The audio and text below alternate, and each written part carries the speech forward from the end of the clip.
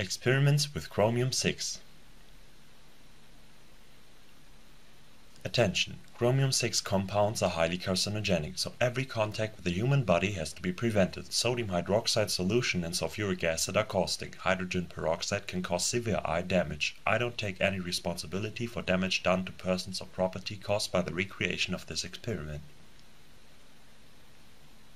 This experiment is not useful for the preparation of solid chromates because of the high impurities and low concentrations. It is just useful for presentation. At first 2 ml of a solution containing a chromium-3 salt with a concentration of 0.1 mol per liter are added to a test tube. Here potassium chromium-3 sulfate is used. Then 1 ml of 10% sodium hydroxide solution is added. At first insoluble chromium-3 hydroxide is formed, which then dissolves as green hexahydroxidochromate 3.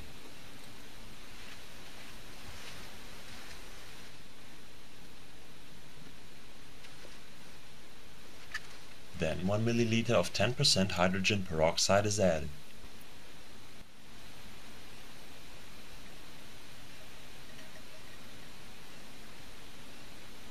Chromium complex can be oxidized quite easily by hydrogen peroxide, which causes the formation of chromate 6.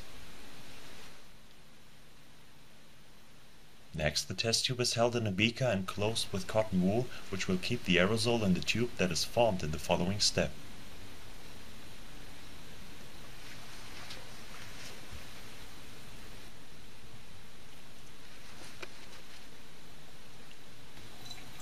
Then the beaker is filled with hot water.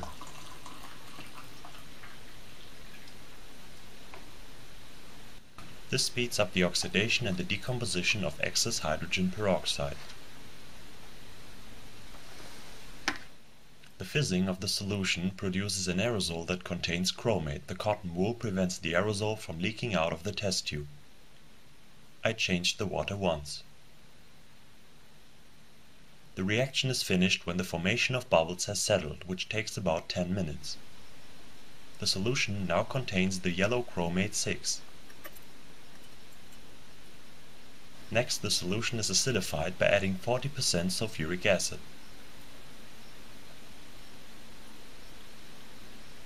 The orange dichromate is formed.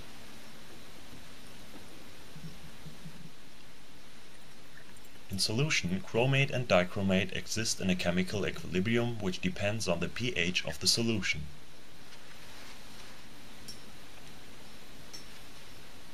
Then a layer of ethyl acetate or diethyl ether is added on top of the dichromate solution.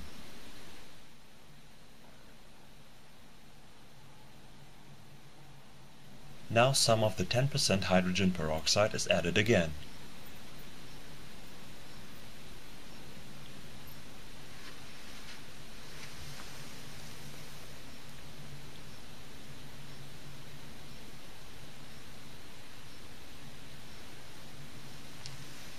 The dichromate reacts with hydrogen peroxide to form the very unstable blue peroxo complex. The peroxo complex is soluble in ethyl acetate or diethyl ether and decomposes much slower in it. The solution below turns green because of the complex decomposing into a green chromium 3 compound and oxygen.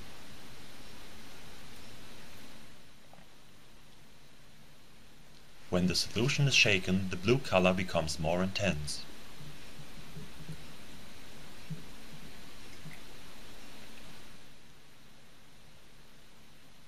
Then the solution below contains only chromium 3 ions.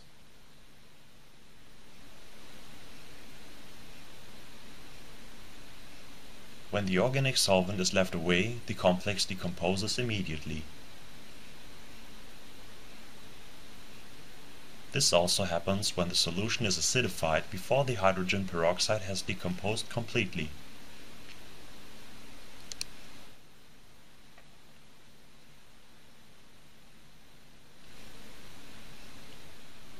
This was Experiments with Chromium 6. I hope you enjoyed. Please rate and comment.